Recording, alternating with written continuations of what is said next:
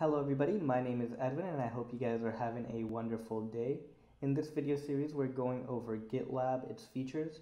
We're building a workflow slash pipeline for a small to medium sized organization using practical examples, something that you can just get your hands into and build yourself and then have for your organization. In the last video we went over PyTest and coverage reports and we built a uh, CI/CD pipeline in GitLab to automate these tests for us. In this video, what we're going to be doing is going over creating a uh, pipeline or some jobs to run a type checker for Python to make sure that our code is type correct. Uh, Python isn't a strongly typed language, but it's always good to have something that we can uh, know is kind of correct, you know, we, we do some type checking on it. And then we're also going to do some linting to make sure that our code is following some sort of uh, coherent styling guide.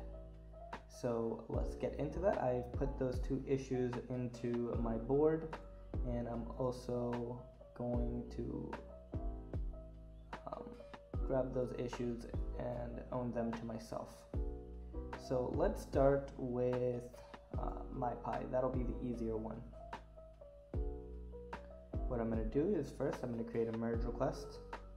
We didn't do this in the last video, but in this video I'm going to try and do this the correct way. So I'm going to say that I am going to start on this issue. And comment it there. Okay, let's get started here. So the first thing that I'm going to want to do is to make sure that I'm on the correct branch. I'm here in repository and files. And I click down on this drop down menu and make sure that I'm on the right branch. This is the branch that was created when we made our merge request.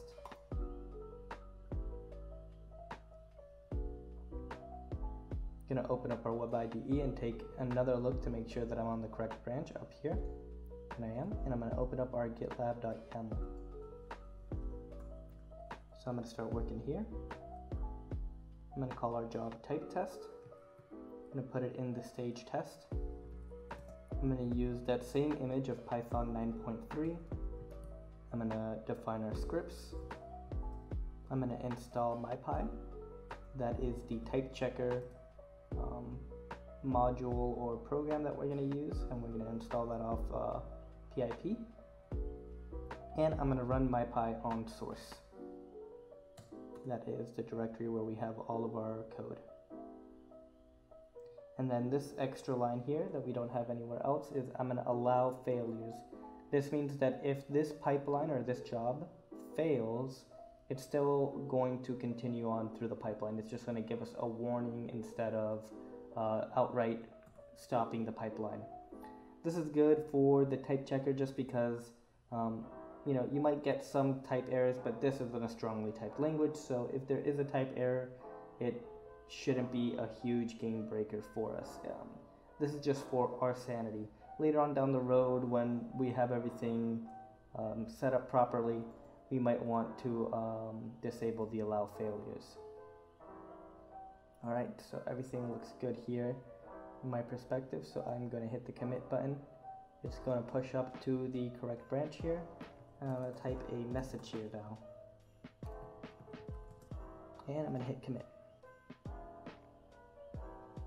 And you can see here our pipeline is going to start running. This is going to happen. You can define pipelines to run um, when you're pushing to individual branches. Like you could say I only want things to run when they run on master. But by default, it's going to run on every single commit. And you can see we already got a warning in the type check. Uh, failed pull image, Python. well, there we have a bug right there. There is no such thing as Python 9.3. So we're gonna have to go back here. We want 3.9. And we'll just do another commit. But this is actually a good learning experience. You can see that even though this pipeline failed, our other tests are going to still run. And we've paused this one now that a new pipeline is running. Another thing that you can notice here is that these two jobs are running in parallel, right? Um, nothing is stopping uh, one job from doing the other job's work. This is the good thing about putting them into their own jobs, right?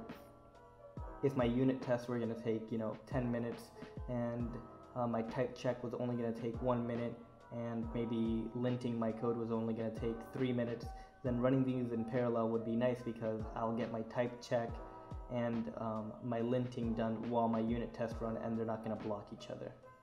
And both of them passed. Take a look at my type test.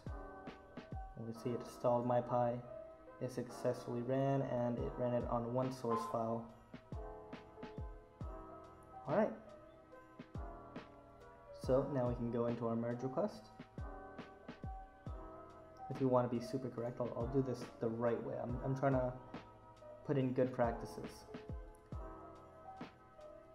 We'd go into development here, move this MyPy one in here, and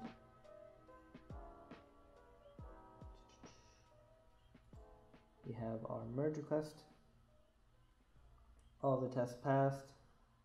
I would put myself as a reviewer just uh, to be totally correct. Mark this as ready and give this a nice little thumbs up. We'll squash the commits, you know. Um, squashing the commits uh, just means that we're going to take all the commits and squash them into one commit. And deleting the source branch, we don't want all these branches laying around, so I'm going to delete the source branch. Let's merge that in. And our pipeline is going to run again. It's running again because now it's testing this on the master branch. But while that's baking, let's go back to our board.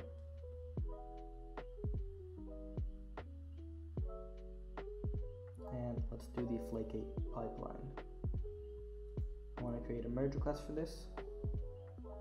We're going to create a new branch. I'm going to add the reviewer right off the bat.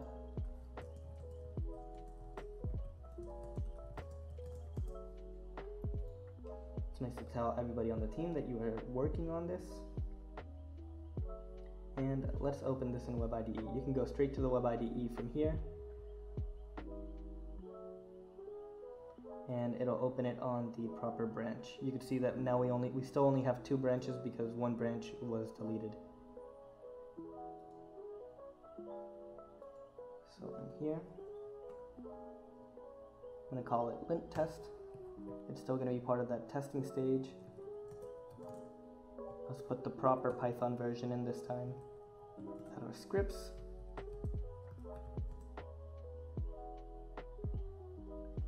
And I'm also going to allow failures on this test here.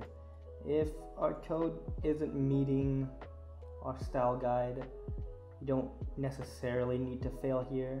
And it's also nice because you can always go back and fix these broken styles later. It's not really the best practice. You want to have the cleanest most good looking code inside of your mainline branch but sometimes uh, that's not really uh, practical. Um, I have um, some code bases that were made by somebody else that's thousands of lines of code and to be honest, you know, they had awful styling practices, and I, I don't want to clean up their code, right? I should, but sometimes you don't want to have to do that. So I'm going to allow failing here.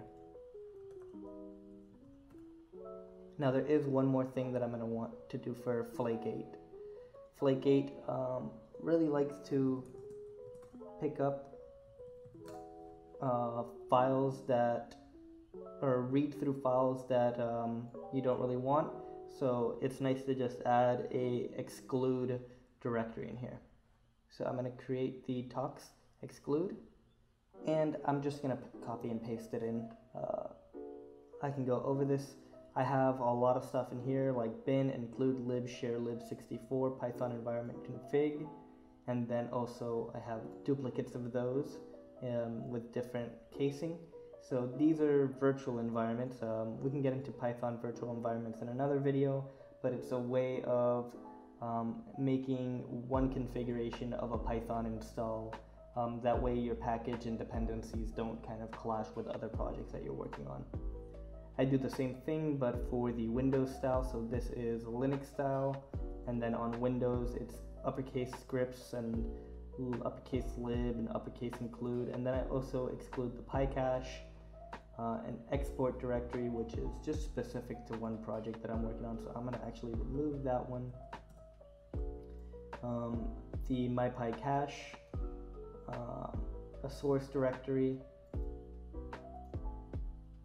And in it instead of actually oh um, yeah I exclude the source uh, underscore underscore init underscore underscore.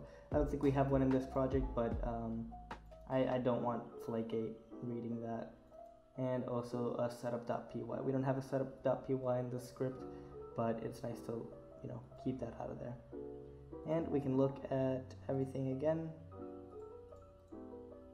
It's lagging a little bit here. But it looks like we're good here. Flake8 is good our lint test is good so I am going to commit this change